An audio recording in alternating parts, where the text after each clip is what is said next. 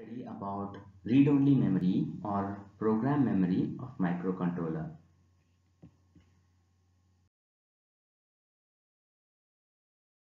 See program memory types there are six types mainly one is ROM second one is PROM third one is EPROM fourth one is EEPROM fifth one is NVRAM sixth one is flash ROM ROM, read-only memory, is a non-volatile memory factory programmed during fabrication of microcontrollers. Used when we are producing in bulk, it cannot be reprogrammed. Programmable read-only memory. This is similar to ROM except that you, the consumer, can program it. You can buy a blank chip and have a PROM programmer program it but once you program it you can never change it. EPROM Erasable Programmable Read-Only Memory You can rewrite this type of memory.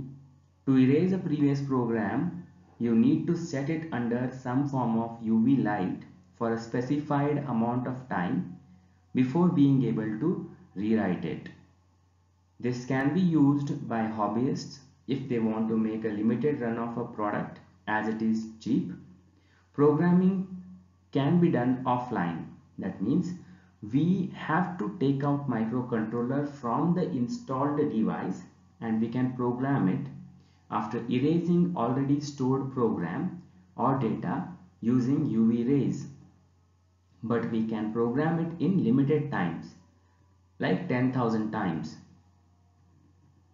more or less 10,000 times that is known as life cycle of a microcontroller or uh, a ROM. It can be used in design or development purposes. So if we see the EPROM picture here, EPROM can be easily recognized by its appearance as it has a transparent quartz crystal window lid at the top of the chip for exposure of UV light.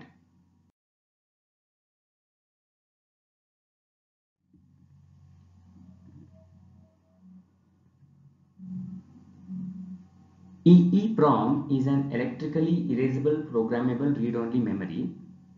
Like EPROM, EEPROM can be erased and reprogrammed but the difference lies in how the content in both are erased. Like in EPROM, the content is erased by exposing it to the UV light. But in EEPROM, the content is erased by the electrical signals.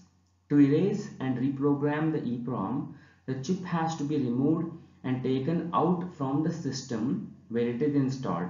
That is known as offline programming. On the other hand, EEPROM chip is erased and reprogrammed without taking it out of the system online. NVRAM non-volatile RAM. In this lithium cell with a control circuit and other functionality are put on a single circuit.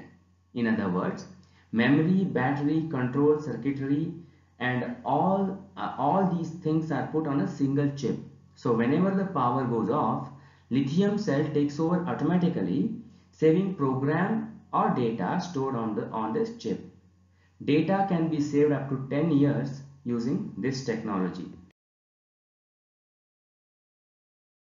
Flash EEPROM. It is an extension of EEPROM that is electrically erasable or programmable ROMs. EEPROMs can be erased or programmed byte by byte. Whereas in Flash EEPROM, we can program it and erase it at once or block by blocks.